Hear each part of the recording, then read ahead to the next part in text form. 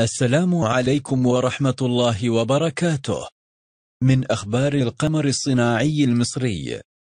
بداية من الأول من ديسمبر 2021 سيتم تغير قمر النايل سات 201 ويصبح مكانه النايل سات 301 ولن يكون هناك حزمة شرقية ولا غربية حيث ستكون حزمة عامة القمر الصناعي. المصري. نايل سات 301 سوف ينطلق في عام 2022 ب 38 تردد جديد يدعم تقنية 4K و Full HD والاتصال بالإنترنت وتغطية كاملة للقارة الأفريقية من شمال أفريقيا حتى جنوب أفريقيا.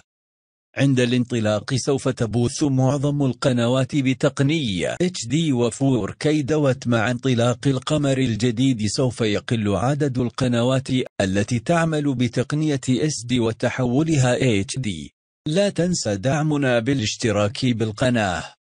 وتفعيل زر الجرس حتى يصلك كل جديد من معرفة.